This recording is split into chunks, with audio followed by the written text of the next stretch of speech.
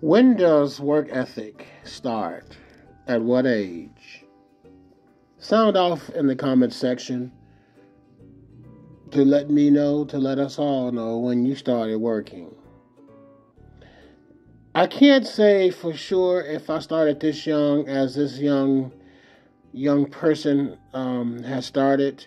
This looks like a little girl, the way uh, the child is dressed and the way it walks, it looks like a little girl.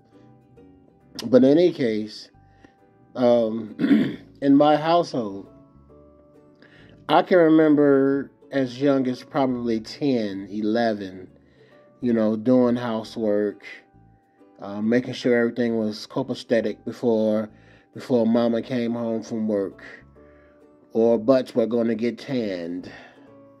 Um, but I mean, look at this.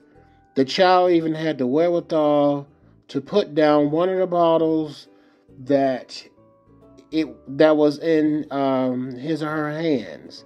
I know adults and teenagers that wouldn't have done that. They wouldn't have thought that far. So for this child to be so young and to put one down to put the other one up there, that was freaking awesome. And I, I commend this lady. Um, and the and the child's father. Hopefully, he's still in the household.